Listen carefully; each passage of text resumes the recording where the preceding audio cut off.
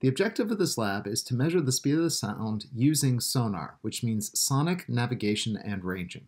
Sonar is the way that submarines manage to figure out what else is in the ocean with them by transmitting sound pulses and then receiving their reflections back off other objects in the ocean. In our case, we are going to use the phyphox app on a smartphone to measure the time delay between a transmitted and reflected sound wave. The way this is going to work is that phyphox will go ahead and transmit a sound pulse at some given time t equals 0.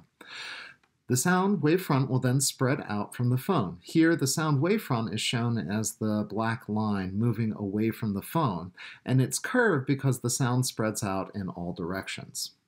The wave will move across the room and eventually collide with a wall. It will hit that wall and then reflect back. This is basically an echo. The sound wave will come back to the phone, and then the phone is going to use the microphone to detect the signal from the reflected pulse. It will arrive after some time t.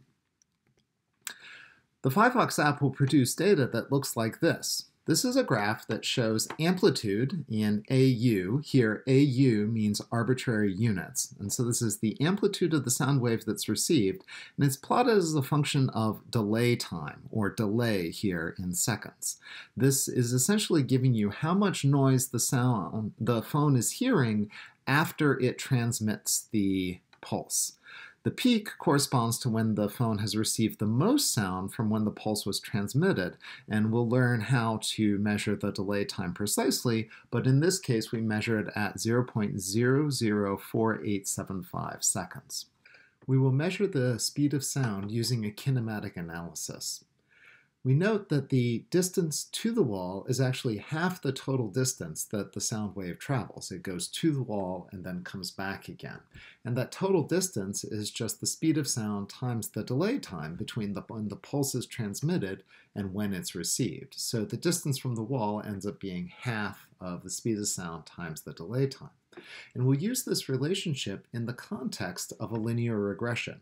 What we'll do is we'll measure several different distances and delay times. Uh, we'll gather at least 10 separate data at four different distances. And if we plot the distance to the wall on the vertical axis and the delay time on the horizontal axis, we can then go ahead and carry out a linear fit where the slope of that line is going to be half the speed of sound. For this experiment, you will need a smartphone running the phyphox app and a flat surface such as a wall or ceiling. You will also need a method of measuring distances. If you don't have a ruler or a tape measure or something, you can search up printable rulers on the internet and print one off onto a sheet of paper. The first thing you will need to do is measure the distance from the wall, usually from the middle of the wall to where you want to hold your smartphone. When you're there, you can go ahead and collect data. From there, you can go ahead and analyze it, as we'll show you in a minute. For the whole experiment, you will need to repeat this three times at different distances. You need to be about 70 centimeters or more from the wall for your phone to work well. To collect data for the sonar experiment, go ahead and open the phyphox app on your phone. This will give you several different experiments that you could do with your phone's sensors we will want to select Sonar. In Sonar, we have several different modes, and we want to choose Timing. With this, we are ready to collect data, focusing on the top graph, which will plot the amplitude of signal versus the delay time. When we're ready to collect data, we'll point it towards a flat wall and press the play button.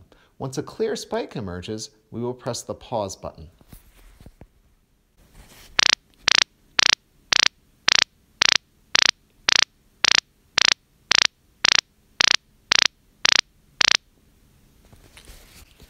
Here we are going to examine that first clear spike that we see.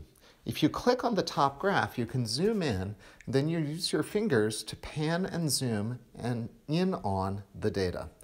Go ahead and select the Pick Data button to choose the data at the top. This will give you the X and Y values of that coordinate.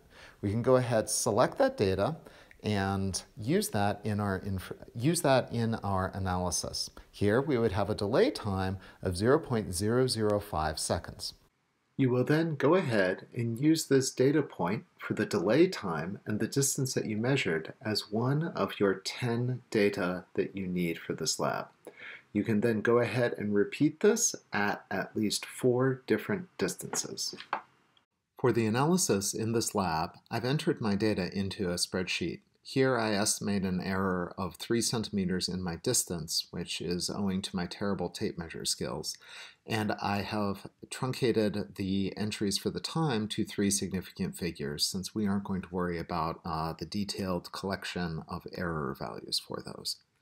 To carry out the uh, basic plotting, I'll just go ahead and insert my chart.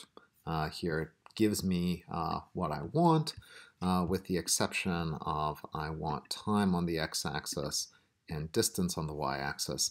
And then you can change the axes and values so you get the uh, properly formatted graph and insert a linear trend line and you'll be largely complete.